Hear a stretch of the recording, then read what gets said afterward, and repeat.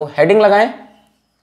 Equi potential surface तो इसके नाम से ही पता चल रहा है, ऐसा सरफेस जिसपे हर जगह पोटेंशियल इक्वल हो, है ना?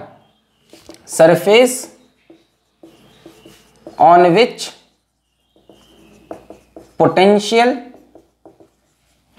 is equal या सेम बोल दो।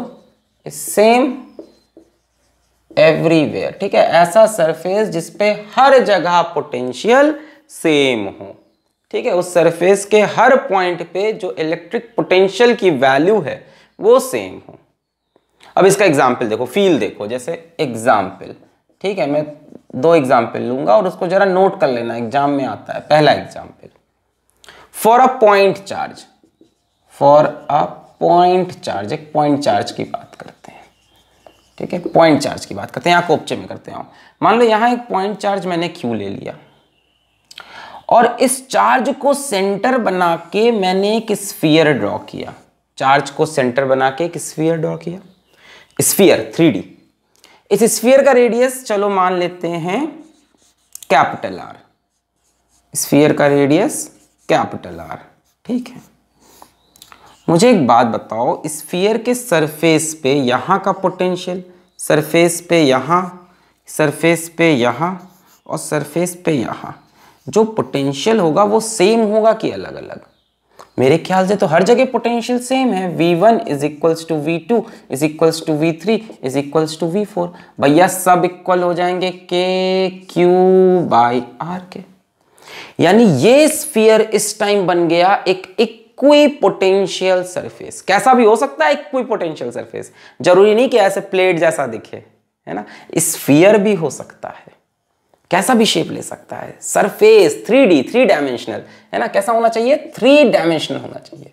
थ्री डी में कोई भी शेप ले सकता है। थ्री डी में स्फीयर का शेप देखो ना, इस स्फीयर के हर पॉइंट पे थ्री डायमेंशनल में हर पॉइंट पे पोटेंशियल सेम होगा। क्योंकि चार्ज से हर पॉइंट इक्वल डिस्टेंस पे है।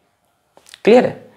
तो पॉइंट चार्ज की अगर आप बात करो पॉइंट चार्ज की आप बात करो तो हम लिखते हैं ऐसे, देखो concentric sphere concentric spheres with charge as centre लिख लो, समझाते हैं। Charge as centre of spheres are equipotential surface पहले लिख लो समझाते हैं। इक्वी पोटेंशियल सरफेस ठीक है? कंसेंट्रिक स्फीयर्स एक नहीं कंसेंट्रिक अरे यार, ज़रूरी थोड़ी ना कैपिटल आर रेडियस का लो। टू आर रेडियस का लोगे, वो भी अपने आप में पोटेंशियल हाँ। उसका पोटेंशियल इससे अलग होगा, पर वो स्फीयर अपने पूरे सरफेस में कैसा होगा? इक्वी पोटेंशियल आर से छोटे का लोगे तो वो भी तो इक्वी पोटेंशियल होगा। उस स्फीयर के तो हर पॉइंट पे पोटेंशियल सेम होगा, बड़ा, लो, छोटा। तो concentric spheres with charge as centre जैसे दिखाते हैं, मान लो यहाँ पे हम प्लस चार्ज क्यू ले लिए। मान लो ये स्फीयर बनाया तो भैया ये भी तो इक्वी होगा हर जगह। और ये बना दूँ तो? तो इस पर भी हर जगह पोटेंशियल सेम होगा। इस स्फीयर के हर जगह पोटेंशियल सेम होगा, इसमें सेम होगा। इसमें इसमें सेम नहीं होगा। ये नहीं कह रहे कि उसमें उसमें भी सेम होगा। जैसे इसे बना दिया, है ना? तो इसके हर पॉइंट पे सेम होगा। जैसे मान लो चार्ज के पास में जाला स्फीयर तो इस पर पोटेंशियल मान लो हर जगह 100 वोल्ट 100 वोल्ट 100 वोल्ट 100 वोल्ट इसमें मान लो जैसे 80 वोल्ट 80 वोल्ट 80 वोल्ट 80 वोल्ट इसमें मान लो जैसे 60 वोल्ट 60 वोल्ट 60 वोल्ट 60 वोल्ट ऐसा होगा। ठीक है? अच्छा एक चीज़ ध्यान से देखो। यहाँ डिफरेंस बीस का, यहाँ डिफरेंस बीस का। वोल्ट में, यहाँ डिस्टेंस बढ़ जाता है। ये चीज़ याद रखना है है ना? ये बनाते बनाते मैंने बता दिया, पर इंपॉर्टेंट पॉइंट है।